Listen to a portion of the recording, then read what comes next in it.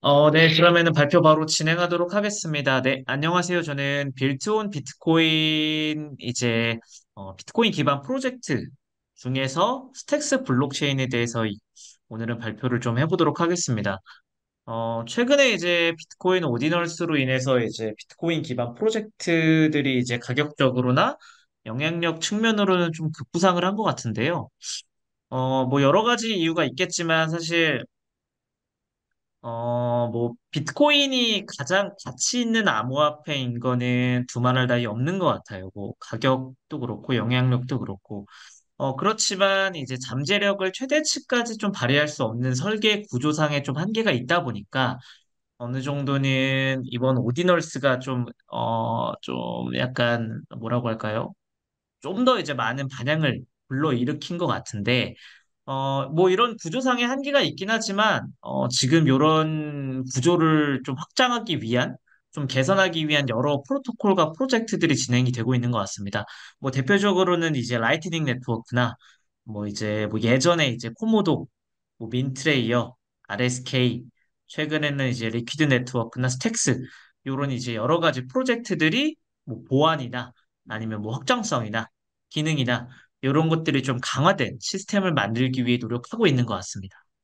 어, 이런 프로젝트들은 이제 비트코인을 기반으로 이제 한 차원 높은 기능을 좀 구현을 하려고 하는 것 같은데요. 뭐 예를 들어 비트코인 layer 2나 뭐 비트코인 smart contract나 뭐 비트코인을 활용한 DeFi나 비트코인 NFT 뭐 이런 DApp들을 제공을 하고 있는 것 같습니다. 어, 요 테이블을 보시면 아시겠지만 이제 스택스나 뭐 루트스탁, 코모도 그 다음에 이제 어, 라이트닝 네트워크에서 이제 작년에 발표했던 타로 어, 타로 같은 경우에는 이제 어, 비트코인 기반 자산을 발행하는 프로토콜 예를 들어 이제 비트코인 블록체인을 기반으로 한 stablecoin 뭐 이런 것들을 이제 발행하는 플랫폼이라고 할 수 있고요. 어, 요런 이제 자산을 발행하는 비슷한 프로젝트로는 리퀴드 네트워크 같은 것들이 있는 것 같습니다. 이 밖에 이제 어, 오디널스 혹은 이제 rollup용 모듈식 framework인 롤킷 이런 것들이 좀 눈에 띄는 것 같아요. 어, 이 여러 가지 프로젝트 중에서 오늘 제가 발표할 블록체인은 바로 스택스입니다. 어, 스택스는 어, 간단하게 이제 설명을 하면은 비트코인 네트워크의 프로그래밍, 즉 smart contract를 만들어서 실행할 수 있는 체인이라고 할 수 있을 것 같아요. 요걸 조금 더 이제 어, 효과랑 같이 표현을 하면은 비트코인의 이제 보안성과 불변성, finality를 leverage하는 블록체인이다 라고 표현할 수 있을 것 같습니다. 어, 스택스 블록체인은 POX라는 전송 증명이라는 합의 알고리즘을 사용을 하고 있고요. 이러한 새로운 블록체인 채굴 방식을 통해서 이제 비트코인과 스택스 블록체인을 연결하고 이를 통해 비트코인 블록체인 기반의 DApp, Web3 이런 것들을 이제 구축하겠다 라고 하는 솔루션이라고 보면 될 것 같아요. 그래서 여기 아래 소제목으로 제가 사용한 어, 비트코인의 확장성 한계와 제한된 smart contract 문제를 해결해서 비트코인을 위한 DApp과 smart contract 시장을 열겠다라는 게 바로 스택스 프로젝트입니다. 그래서 오늘은 제가 어, 요 스택스에서 되게 중요한 부분이 몇 가지가 있는데 제가 다는 못 가져왔고요. 그 중에 이제 좀 중요하다고 생각되는 부분, 뭐 조- 어, 합의 알고리즘에 대한 설명이라든지 이제 어, 이런 스택스를 개발하는 언어라든지 혹은 이제 어, wrapped 코인, wrapped 토큰처럼 어, 만들어 나가고 있는 SBTC 그리고 스택스 생태계 이런 것들에 대해서 좀 말씀을 드리겠습니다. 그러면은 어, 먼저 스택스의 합의 알고리즘 POX 전송 증명에 대해서 먼저 설명을 좀 드릴게요. 어, POX는 Proof of Transfer 라고 하는 어, 그냥 간단하게 해석해도 전송 증명이라고 볼 수 있을 것 같습니다. 이 POX가 비트코인과 스택스를 이어주는 합의 알고리즘이라고 보시면 될 것 같은데요. 어, 비트코인을 base chain으로 두고 스택스가 이제 연결된 체인으로 구현된다고 보시면 될 것 같습니다. 어, 요거를 이제 간단하게 그냥 프로세스 먼저 설명을 드리면은, 어, 일단은 스택스의 이제 합의 알고리즘도 miner, 채굴자와 그 다음에 user, 어, 보통은 이제 POS에서는 이제 staking 하는 분들을 이제, 어, 뭐 stakeholder? 이렇게 표현을 하나요? 어, 뭐 아무튼, 이런 합의 알고리즘에 참여하는 role 중에 하나인 stacker. 요 miner와 stacker 두 role의 어, 중심을 잡고 진행이 됩니다. 그러면 이제 프로세스가 어떻게 되냐면은 어, 먼저 채굴자로 선정되기 위해서 채굴자 후보가 비트코인을 특정 주소로 전송을 해요. 그리고 이 전송된 비트코인은 stacker라고 불리는 다른 role을 하는 참여자가 받게 됩니다. 그리고 이 Stacks는 채굴자가 되기 위해서 stacker에게 전송하는 자산이 바로 말씀드렸던 비트코인이고 어, 선출된 채굴자는 블록 생성에 대한 보상이나 이런 것들에 따라서 보상을 받게 되는 게 비트코인이 아니라 Stacks 코인입니다. 그리고 stacker는 비트코인을 이제 이 채굴자로부터 받기 위해서 자신이 보유한 STX, Stacks 코인을 lockup, 즉 stack시킨다고 할 수 있습니다. 어, 채굴자의 채굴 비용이 어, 해당 채굴자가 전송한 자산이고 이 채굴 비용은 STX를 락업시킨 스테커가 받게 되죠. 이런 의미에서 POX, 요 합의 알고리즘이 전송 증명 방식이라고 이름이 붙게 된 것 같습니다. 그러면 요거를 조금 더 자세하게 한번 좀 설명을 드려볼게요. 좀 더 구체적으로 어, 이 채굴자와 스테커 두 롤을 좀 구분해서 이제 설명을 좀 드려보겠습니다. 어, 일단은 이 채굴자가 하게 되는 프로세스는 요 네 가지라고 보면 될 것 같아요. 일단은 miner, 채굴자는 크게 네 가지 과정을 거쳐 요 합의 알고리즘에 참여를 하게 됩니다. 가장 먼저 채굴자는 어, 이 Stacks 네트워크에 합의 데이터를 전송해서 향후 진행될 리더 선출에 등록을 하게 돼요. 여기서 이제 이 Stacks의 합의 알고리즘의 리더 개념 자체가 어, 비유하자면 POW에서 이제 블록 생성 보상을 받아가는 winner를 뜻하게 되는 거고요. 어, 이 1단계에서 리더 선출에 등록한 이 채굴자 후보가 이 후보한 채굴자가 선거에 참여를 하기 위해서 리더가 되기 위해서는 특정 주소로 비트코인을 전송을 하게 됩니다. 이 비트코인을 전송하는 게 약간 어, 어, 우리가 선거할 때 약간 기탁금 같이 정치인들이 내시잖아요. 약간 그런 거랑 좀 비슷하긴 하지만 이 비트코인이 어, 뭐 기탁금처럼 정부가 가져가거나 혹은 이제 소각을 하거나 이런 게 아니라 어, 예전에는 좀 소각 알고리즘을 사용했던 것 같지만 지금은 요 전송한 비트코인은 stacker라는 뒤에서 후술할 참여자에게 돌아가게 됩니다. 그리고 stacker는 어, 모종의 행위를 통해서 이 Stacks 체인에 기여를 해야 당연히 비트코인을 받아가는 거겠죠. 어, 일단은 그렇게 좀 설명을 드리고요. 어, 세 번째는 어, 전송한 이 비트코인의 수량만큼 이 검증 가능한 무작위 함수를 통해서 어, 리더를 선출하게 돼요. 이 결국은 이제 이 비트코인을 많이 보내는 놈이 리더로 선출될 확률이 높고 물론 이제 무조건 비트코인을 가지고 있는 거를 다 보낼 수는 없으니까 이 체인에서는 어느 정도 하한선을 제시를 좀 해주고 있는 것 같습니다. 그래서 어쨌든 이 무작위의 함수 이제 VRF가 어, 일정 사이클 동안 모든 블록의 생성을 책임질 리더를 선출하게 돼요. 그리고 이 선출된 리더는 일정 사이클 동안 블록을 채굴하고 블록당 보상과 거래 수수료 보상을 비트코인이 아닌 STX 코인으로 받아가게 됩니다. 쉽게 말해서 비트코인으로 채굴자를 선정하고 채굴 이후의 보상은 STX 토큰으로 받아간다는 거라고 이해를 해주시면 될 것 같아요. 그러면 두 번째 stacker는 과연 어떤 역할을 하고 있냐? 어, stacker는 자신이 보유한 STX 코인을 lockup, 즉 stack시킴으로써 비트코인을 보상으로 받게 됩니다. 어, 지분 증명과 비교해 보면 이 stacker들이 약간 stakeholder랑 비슷하다고 볼 수는 있지만 엄연히 좀 다른 개념이라고 생각을 하시면 될 것 같고요.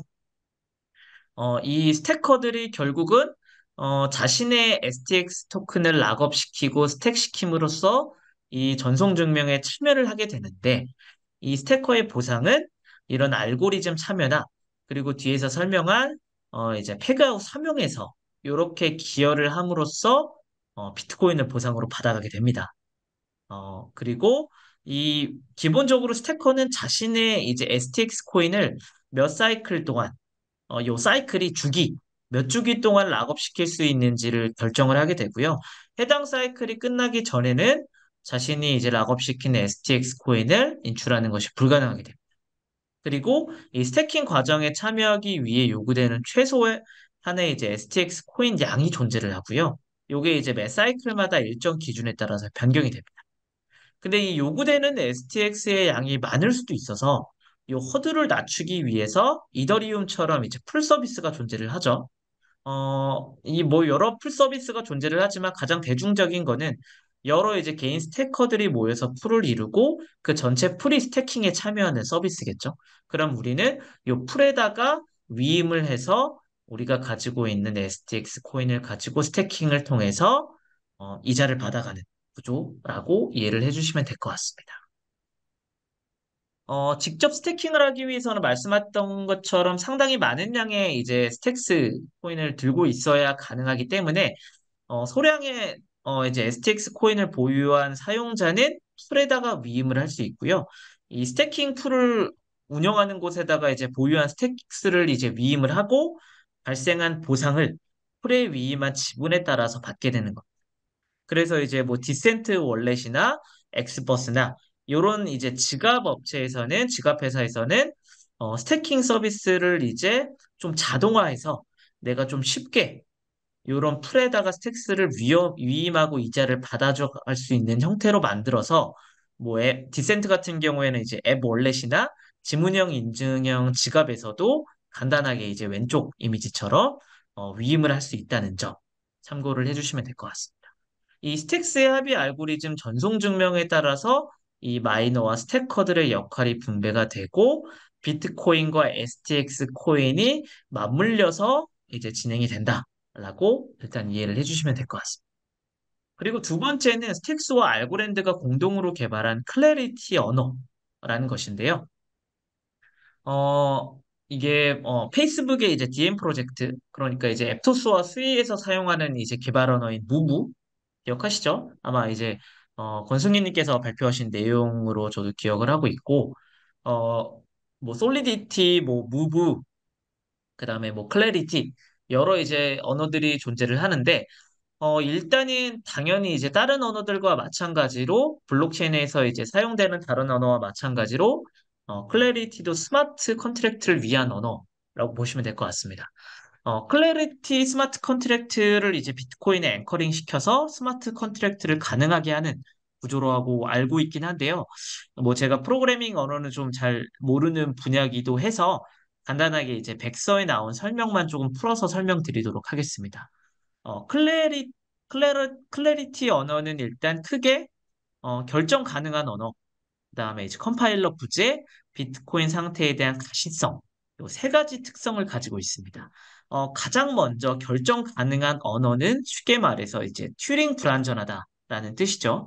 이 튜링 불완전이라는 것은 튜링 복잡성을 이제 방지하기 위해서라고 보시면 될 것 같은데요. 어, 예를 들어 이제 Solidity는 이제 어, 결정 불가능한 언어이기 때문에 어, smart contract를 실제로 실행하지 않고는 어떻게 작동할지 알기 어렵죠. 그리고 이런 것들 때문에 이제 갑자기 멈추는 문제 등을 이제 방지할 수 없다 라고 할 수 있는데 물론 이제 Solidity 역시 장점이 존재하긴 하지만 어, 큰 금액이 오고 가는 이제 smart contract의 경우 위험을 최소화하는 것이 매우 중요하기 때문에 이 Clarity 언어는 어느 정도 이 위험 최소화에 좀 방점을 둔 언어다라고 보시면 될 것 같고요. 뭐 여러 이제 장단이 있겠지만 어, 이 위험 최소화라는 부분에 있어서는 일단 이 Clarity 언어가 Solidity보다는 유용하다라고 보는 것이 맞는 것 같습니다. 그리고 두 번째는 이제 컴파일러가 없다라는 거, 컴파일러에 대한 부재가 있다라는 거로 이해를 해주시면 될 것 같아요. 어, 컴파일이라는 거는 이제 어떤 언어의 이제 코드를 다른 언어로 바꿔주는 과정이고, 이걸 이제 자동으로 수행해주는 소프트웨어가 컴파일러죠. 그래서 Solidity도 이제 SOL이라는 컴파일러가 있고, Move에도 이제 Move IR이라는 컴파일러가 있지만, Clarity는 어, 사실상 컴파일러가 없습니다. 물론 이제 컴파일러 역시 장단이 좀 있겠지만, 어, 이 블록체인에 큰 손상을 입히는 컴파일러 버그가 좀 치명적이다 보니까 어, 이 Clarity는 아예 컴파일러가 필요가 없는 구조로 좀 만들었다라고 보시면 될 것 같아요. 어, 그래서 Clarity에서 생성된 smart contract는 개발자가 이제 이걸 제작할 때 블록체인에서 동시에 broadcasting 된다라고 보시면 될 것 같고요. 어, 그렇기 때문에 개발자가 이제 작성하거나 분석하거나 테스트한 코드가 어, 실행될, 어, 실행되는 게 좀 정확한지, 이런 코드인지를 어, 컴파일러 부재에 따라서 확인할 수 있다라고 보시면 될 것 같습니다. 어, 마지막으로는 비트코인 상태에 대한 가시성. 이게 이제 번역이 좀 약간 어색하게 된 것 같긴 한데, 어, 일단은 Clarity 이제 언어는 비트코인 상태에 대한 가시성을 갖추고 있다라고 보시면 될 것 같은데요. 어, 요거는 이제 contract의 로직이 순수한 비트코인 트랜잭션을 기반으로 트리거가 잘 될 수 있음을 의미한다고 합니다. 한마디로 이제 개발자가 비트코인 상태와 더 쉽게 상호작용할 수 있다.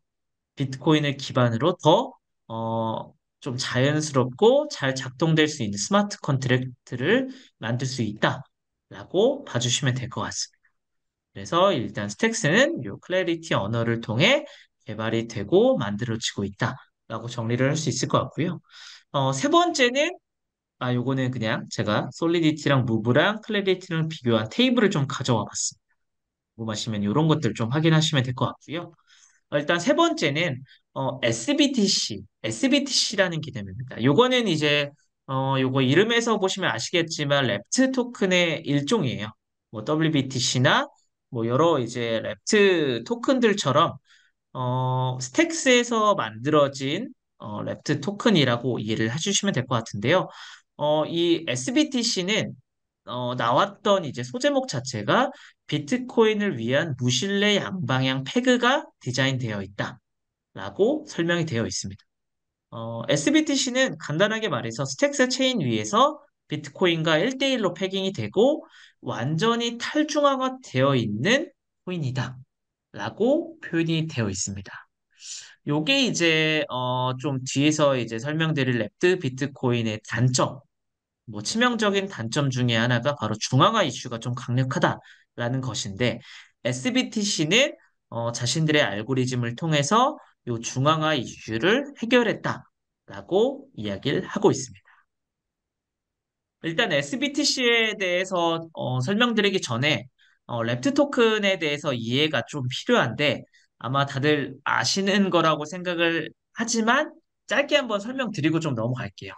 일단 wrapped 비트코인의 원리는 어, 그냥 간단하게 이제 다른 암호화폐 가치에 pegging되어 있는 암호화폐 토큰이라고 보면 되잖아요. 그죠?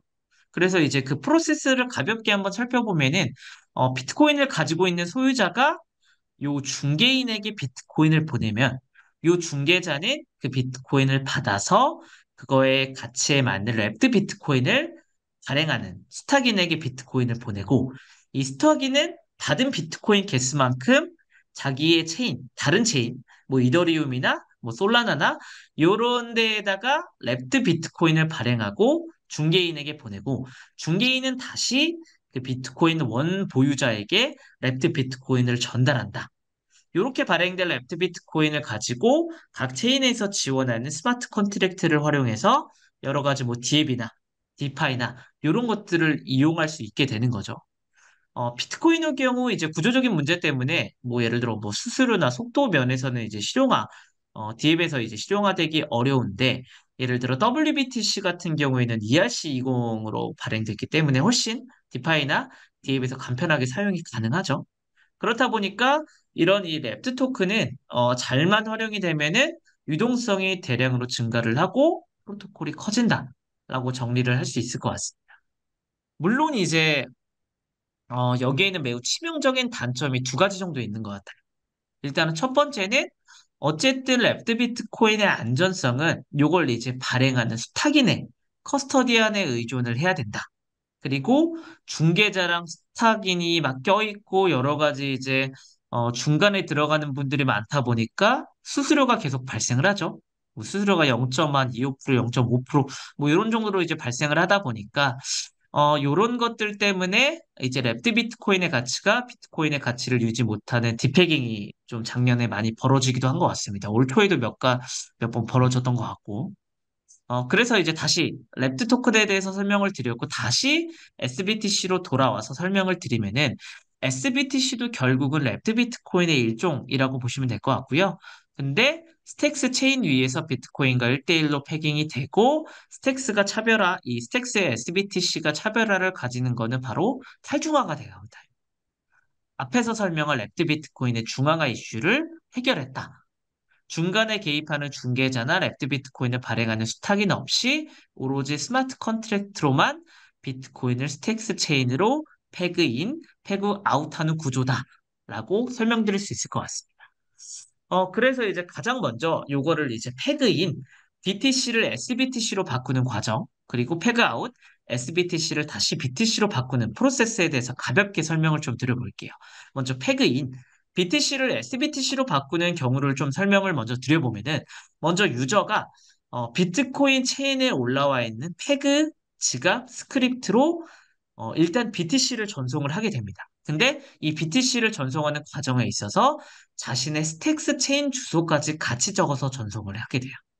그리고 이 전송된 BTC의 어, on-chain 데이터, on-chain 데이터를 Stacks 체인이 앞에서 말씀드렸던 전송 증명을 통해서 읽어냅니다. 근데 어떤 데이터를 읽어내냐? 바로 어, 비트코인을 보냈던 유저의 Stacks 체인 주소를 읽어내게 되는 거죠. 그래서 이 데이터를 바탕으로 어, 보낸 비트코인의 수량만큼의 SBTC를 1대1로 발행을 해줍니다. 그리고 이 발행된 이 SBTC를 유저가 제출한 주소로 다시 전달해주는 구조. 요게 이제 가장 간단하게 peg-in. 앞에서 설명드렸던 뭐 중개자가 이제 뭐 예를 들어 수탁인이 있고 또 다른 중개자가 있고 이런 것들에 비해서 바로 그냥 smart contract가 어, 이 전송 증명을 통해서 데이터를 읽어내고 발행을 해주고 전송까지 해주는 구조라고 봐주시면 될 것 같고요.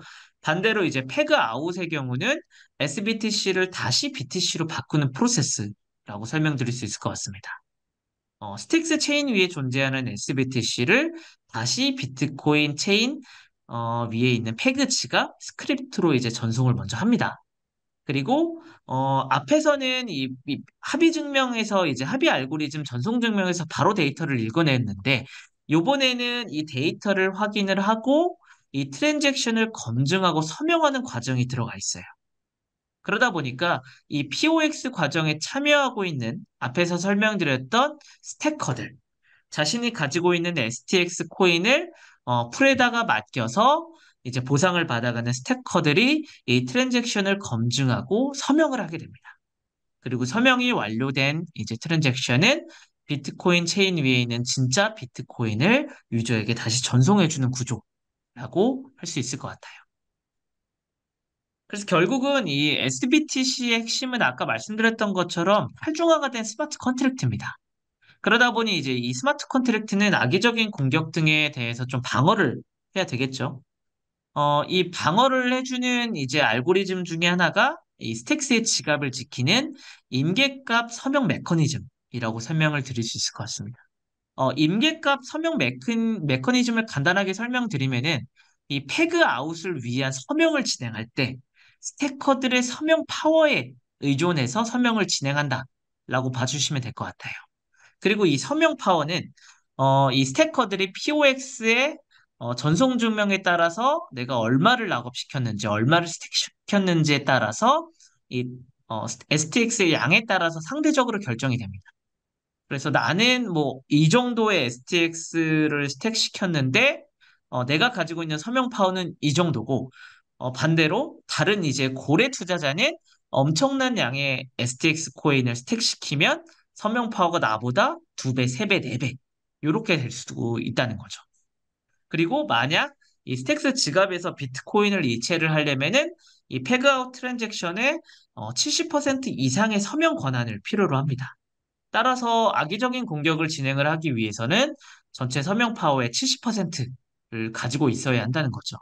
그리고 이 stacking power와 stacker는 어, 매 stacking 주기, 매 stacking 사이클마다 변경 변경될 수도 있기 때문에 상당히 높은 수준의 보안을 제공한다라고 봐주시면 될 것 같습니다.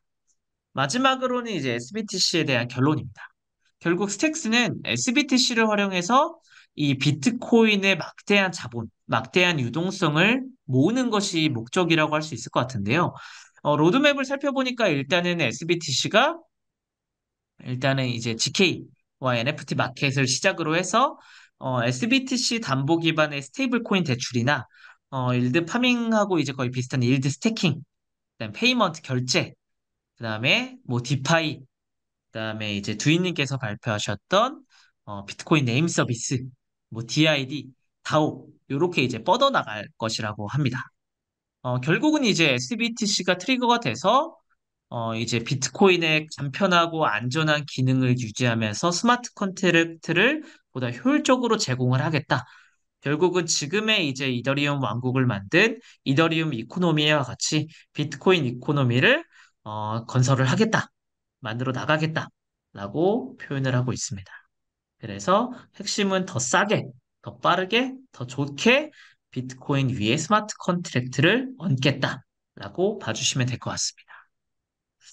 어, 그리고 이제 네 번째는 Stacks 생태계 인데, 일단은, 어, DeFi에서 이제 90%를 점유하고 있는 ALEX, 그리고 대표 지갑인 Hiro나 Xverse, 그리고 NFT 마켓 Gamma를 좀 가져와 봤습니다. 어, ALEX는 이제, 어, 본인들의 이제 홈페이지에서 설명하기로는 비트코인 네트워크를 간접적으로 이용하는 DeFi. 당연히 이제 스페, Stacks 위에 올라가 있다 보니까 비트코인 네트워크를 간접적으로 이용하게 되는 DeFi 서비스겠죠. 그래서 서비스를 살펴보면은 뭐 swap이나 뭐 DEX나 staking이나 launchpad나 bridge 같은 다양한 서비스들을 제공을 해주고 있고요. 최근에는 이제 BRC20이 워낙 핫하다 보니까 요 BRC20 DEX인 B20을 베타로 출시하기도 했습니다. 어, 그리고 두 번째는 Hiro라는 지갑인데요. Stacks 블록체인과 상호작용하는 대표적인 지갑 중에 하나고 어, stacking을 비롯한 이제 여러 가지 DApp과 연결이 가능하고요. 어, 그 다음 지원하는 NFT는 당연히 이제 비트코인 원래를 표방하다 보니까 Ordinals inscription이나 비트코인 스탬프나 Stacks NFT 이런 것들을 지원을 해주고 있습니다. 그리고 세 번째는 이제 또 지갑인데요. 어, 이 Xverse라는 지갑은 stacking에 많이 사용되는 지갑으로 볼 수 있고요. 일단 여기서는 기본적으로 이제 100 STX 코인만 가지고 있어도 stacking을 시작할 수 있다. stacking pool까지 같이 제공해주는 지갑이다. 라고 봐주시면 될 것 같습니다. 그리고 뭐 BRC20이나 Ordinals나 비트코인 NFT와 같은 어, 보관, 전송 등을 지원해주는 지갑이라고 할 수 있고요. 마지막으로는 이제 NFT marketplace인 Gamma인데 어, 최근에는 이제 생태계 내에 있는 앞서 말씀드렸던 Hiro Wallet과 Xverse가 파트너사로 참여하면서 어, 비트코인 Ordinals 전용 마켓을 추가로 출시를 했고요. 여기 이미지를 보시면은 여기는 이제 어, Stacks 기반의 이제 NFT들이 주를 이루고 있는데 여기서 이제 Bitcoin Name Service BNS도 거래가 나름 활발한 것으로 어, 확인이 되고 있습니다. 그래서 일단은 비트코인 기반의 NFT를 거래할 수 있는 marketplace까지 갖춰져 있다라고 봐주시면 될 것 같아요. 어, 그래서 이제 결론을 먼저 마지막으로 말씀드려 보도록 하겠습니다. 어, 일단은, 어, Stacks가 이제 바라고 있는 거는 결과적으로 이제 비트코인 생태계에서 smart contract를 제공하는 DeFi 생태계가 한정적이다 보니까, 어, 우리가 열심히 잘 만들어서 이 비트코인 생태계에서 비트코인 이코노미를 만들어 보겠다라고 하는 거고요. 이 이미지를 살펴보시면은 지금 BTC와 어, 비더리, 어, 비트코인과 이제 이더리움을 이제 빙산으로 이제 표기한 이미지인데요. 보시면은 어, 이더리움과 비트코인의 이제 시가총액이 당연히 차이가 많이 나죠. 이제 압도적으로 이제 1위를 기록하고 있는 게 이제 비트코인이고 뭐 2등으로 이제 잘 따라가고 있긴 하지만 어, 최소 2배에서 3배 정도는 차이가 나기 때문에 이 빙산의 일각으로 보면은 위에 나타나 있는 게 이제 비트코인과 이더리움이라고 보면은 아래 이제 수면 아래 숨겨져 있는 이코노미의 크기도 어, 이더리움보다는 비트코인이 훨씬 더 클 것이다. 비트코인에 잠자고 있는 유동성, 비트코인에 지금 투자되어 있는 막대한 자본이 어, 일으킬 수 있는 DeFi 생태계가 이더리움보다 비트코인이 훨씬 더 클 것이다. 라고 지금 보고 있는 것 같고요. 어, 가상자산 헤지펀드 이제 Northrock Digital의 이제 분석가 Hal Press라는 분이 Medium을 통해서 요 네 가지 Stacks 투자 포인트를 이제 좀 밝히고 있습니다. 어, 먼저 이제 비트코인 반감기. 이 비트코인 반감기조차도 스택스의 어, 호재다라고 보는 거고요. 결국은 이 반감기가 이제 비트코인의 이제 보안 예산, 보안 budget을 감소시키고 수수료 매출 증가를 불러올 건데, 이런 매출 증가는 어, 비트코인의 layer 2 솔루션인 스택스가 더 부각될 것이다. 부각시킬 것이다. 라고 보는 거고요. 두 번째는 어, 비트코인 layer 2의 대장주는 바로 스택스다. 어, 물론 이제 스택스는 이제 비트코인 layer 2라고 보기에는 좀 어려운 부분이 있지만 일단은 요 글에서는 비트코인 layer 2라고 보고 있고 라이트닝이나 이제 루트스탁이나 스택스 요 세 가지 이제 layer 2 중에서 스택스만이 자체 토큰을 가지고 있고 여러 유저들을 onboarding 시킬 수 있는데 최적화되어 있는 DeFi 생태계를 갖고 있다. 그렇기 때문에 대장주에 투자해야 된다 라는 논리라고 봐주시면 될 것 같고요. 어, 앞에서도 설명드렸던 이 빙산 아래, 수면 아래 이제 어, 드러나 있는 비트코인과 이더리움의 이제 차이. 이걸 이제 layer 2 valuation이라고 이제 표현을 하는데 이 layer 2의 valuation이 지금은 이더리움이 굉장히 크지만 어, 점점 좁혀질 것이다. 요게 지금은 이게 어떤 기준인지는 제가 잘 모르겠지만 기존에는 114배의 valuation 차이가 나는데 요게 14.4배로 감소할 것이다.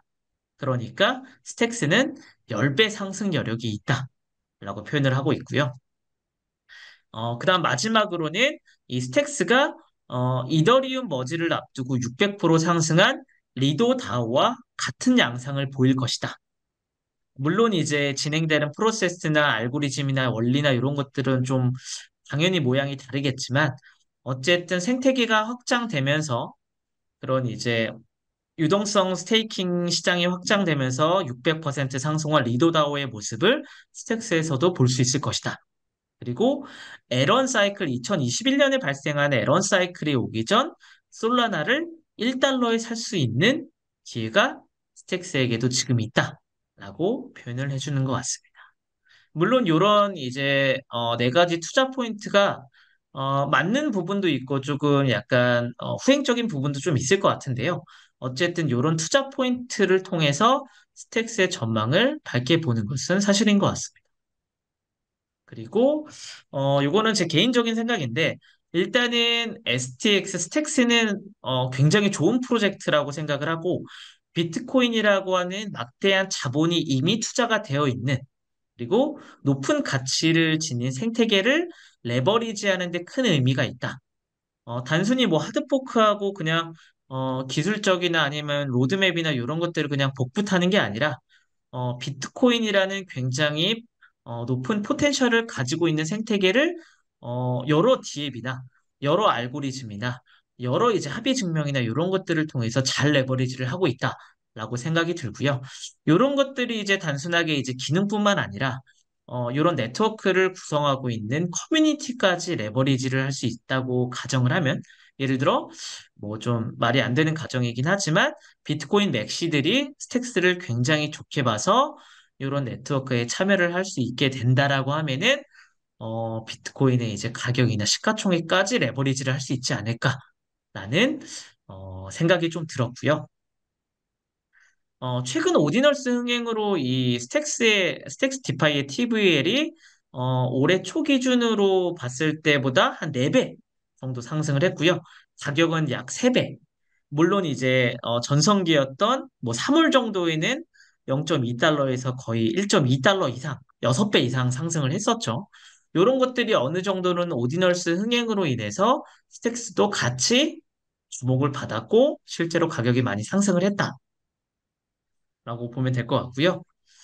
투자 관점에서 볼 때는 결과적으로 이제 SBTC, 앞서 말씀드렸던 SBTC가 과연 비트코인 DeFi나 어, 비트코인 NFT, 비트코인 DeFi, 어, 비트코인 생태계의 흥행을 어느 정도 가져와 줄지에 따라서 좀 결정이 날 것 같고, 어, 내년에 이제 한 내년 4월쯤에 돌아오는 비트코인 반감기가 도래했을 때 스택스도 같이 관심을 어, 받을 수 있을 것 같다 라는 생각이 좀 들었고, 어, 오디널스와 같은 비트코인 기반 시장이 이제 부흥할 때마다 스택스를 비롯한 여러 비트코인 기반 프로젝트들의 가격 상승이 이루어질 것 같으니까 이런 시도들이 계속 된다라고 하면 스택스도 계속 주목을 받을 것 같다라는 생각이 좀 들었고요. 그 다음에 이제 암호화폐 규제가 좀 강화가 되면 될수록 어, 스택스가 그래도 좀 상승 모멘텀을 받을 것 같다. 라고 좀 생각이 들었습니다.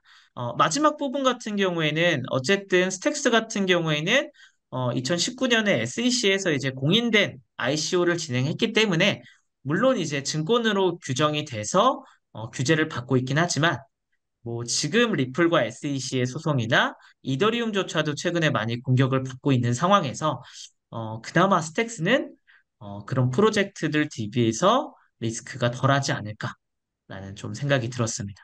물론 이런 투자적인 관점 같은 경우에는 어, 일단은 제 생각이나 혹은 이런 스택스에 이미 투자를 하고 계신 분들의 좀 논리를 많이 가져온, 가져온 부분이 좀 있다 보니까 어느 정도 좀 편향된 부분도 있을 것 같고 좀 과대 표현된 부분도 좀 있을 것 같습니다. 어, 그럼에도 불구하고 저 같은 경우에도 이제 이 블록체인, 어, 비트코인 기반 프로젝트들에서는 저는 굉장히 어, 좋은 관점으로 보고 있는 것도 맞는 것 같고요. 그 중에서도 스택스가 어, 굉장히 좀 포텐셜이 있는 프로젝트인 것 같다 라는 좀 생각이 들었습니다. 물론 제가 이렇게 말씀드린다고 뭐 투자를 하시거나 그래서는 절대 안 되고요. 꼭 DIY 하시면서 어, 여러 가지 뭐 비단 투자뿐만 아니더라도 이런 알고리즘이나 뭐 여러 가지 이제 콘텐츠를 보시면서 지금 비트코인 기반으로는 이런 프로젝트들이 진행되고 있고 어, 잘 유지가 되고 있으며 이런 로드맵을 가지고 있다 라고 어, 생각을 해주시면 될 것 같습니다. 어, reference는 국내 이제 스택스는 어, 디스프레드가 굉장히 한국어로 된 좋은 컨텐츠들을 많이 발행을 하고 있어서 어, 사실 오늘 제가 준비한 자료들은 대부분 디스프레드나 뭐 A41이나 혹은 이제 이런 백서들, 디스프레드에서 번역한 백서들을 가지고 재 구성을 했고요. 뭐 이런 것들에 들어가셔서 제가 오늘 발표한 뭐 조금 어, 좁은 범위의 알고리즘이나 이런 것들 말고 어, 풀로 된 리포트들 보시면서 공부를 하시면 더욱 도움이 될 것 같습니다. 네, 그럼 이상으로 어, 제가 발표한 스택스를 어, 마치도록 하겠습니다. 네, 감사합니다.